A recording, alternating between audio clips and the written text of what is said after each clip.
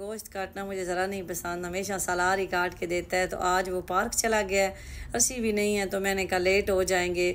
Chinese rice बनाने हैं तो मैं खुद ही कटिंग कर लेती हूँ। तो बस फिर कटिंग स्टार्ट कर दी है।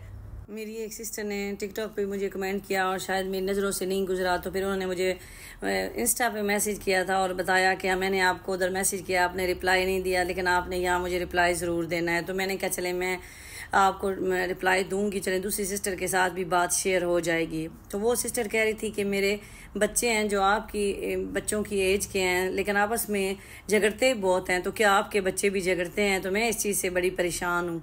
तो बच्चे झगड़ते तो हैं ही, थोड़ी देर बाद फिर वैसे हो जाते हैं क्योंकि बच्चे हैं। उसकी एक वजह यह है कि एज डिफरेंस होता है, फिर सोच का भी डिफरेंस होता है। और उदैबिया जैसे लड़की है और बाकी वो दो भाई हैं तो आपस में उनका भी थोड़ा क्लैश रहता है, छोटी है वो हमें ज़्यादा उदैबिया की होती है किसी वजह से तो फिर बड़ों को मैं डांट देती हूँ। लेकिन वो कह रही हैं कि बहुत ज़्यादा झगड़ते हैं, जिसकी वजह से मैं परेशान हूँ। तो मेरे जो इर्द गिर्द कम्यूनिटी है ना, ये बात भी मैंने उनसे भी सुनी है और अक्सर हमने इस बात को डिस्कस भी किया है। तो रिज़ल्ट ये निकला है कि जो हम लोग वालदेन है ना, जिन्होंने अपने बच्चों को ज़्यादा ऐसे कूजे में बंद किया हुआ है। ना कहीं आना, ना कहीं जाना।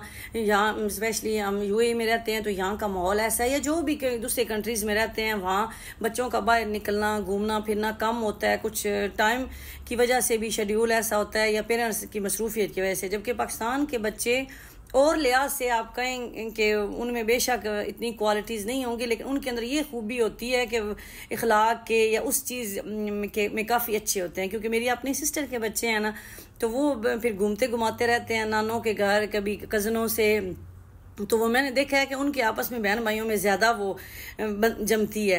तो ये चीज़ मेन है। आप अपने बच्चों को ना स्पेस दें। अब ये वो बच्चे नहीं हैं जो हम थे। मैं अपनी बात करूँ ना तो आज भी हम तीनों बहनें बैठी हूँ और मेरे अबू आ जाए ना तो हमारे अंदर एक थोड़ा सा वो डर और एक हमारे चेहरे की रंगत बदल जाती है। हालाँकि मुझे अपनी ज़िंदगी में नहीं याद कि हम तीनों बहनों भाइयों को कब मार पड़ी हो। या अबू ने सख्ती से डांटा हो। लेकिन हमारे अंदर वो एहतराम था, वो एक रिस्पेक्ट का ये स्टाइल था कि डर लगता था पेरेंट्स से, या हम उस स्टाइल के बच्चे थे आज के बच्चे वो नहीं हैं। आज के बच्चे तो पेरेंट्स के साथ भी फ्री हैं, या आज के बच्चे दोस्तों के साथ जाना चाहते हैं। हमें तो दोस्तों के साथ जाने की परमिशन नहीं थी। मैं कॉलेज में पढ़ती थी तो मैं नहीं जा सकती थी दोस्तों के इस तरह घर। हमारे घर का माहौल थोड़ा मजहबी टाइप था। तो लेकिन आज के बच्चों को ये चीज़ें चाहिए, ये ज़रूरत है। अगर ये नहीं ना होंगी, बच्चे कुछ भी सीखेंगे नहीं, वो आगे नहीं बढ़ेंगे।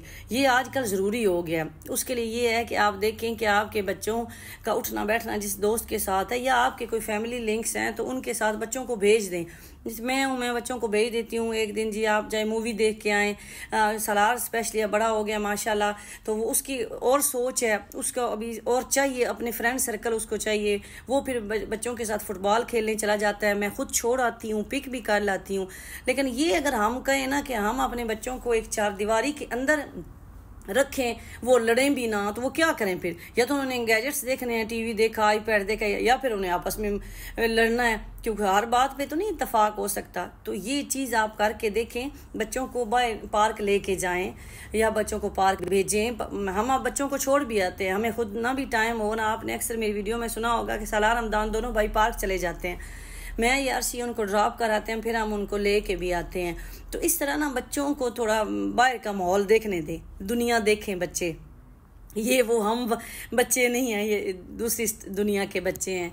उसके बाद जी घर का माहौल भी अच्छा रखें कभी कभी फ़नी ड्रामा लगा लिया, कभी फ़नी कार्टून लगा लिया, हम तो अपने बच्चों के साथ वो भी देखते हैं। तो इस तरह से अगर आप बच्चों के के साथ टाइम स्पेंड करेंगे, बच्चों के माइंड जो है वो डिवाइड होंगे, बच्चों का ध्यान आपस में झगड़ने से ज़्यादा हटेगा तो वो फिर चीज़ें रूटीन में आपके शामिल हो जाएँगी। तो मेरी जो सिस्टर ये वीडियो देखेंगी और ब्रदर वो भी कमेंट में ज़रूर बताएँ कि जो बात मैं कह रही हूँ, वो किस हद तक ठीक है या अगर उनके पास कोई आइडियाज़ हैं तो वो भी आप ज़रूर शेयर करें। तो मेरे चाइनीज़ राइस रेडी हो गए हैं। आज भी सलार रमदान पार्क गए हुए हैं। अभी अर्शी को कहा है कि आप उनको ले के आएँ, मुझे तो सख्त भूख लगी हुई है। तो बस वो अभी उनको लेने गए थे तो आए हैं ले के और साथ उनका कज़न भी है, वो भी आ रहा है, उसको भी अभी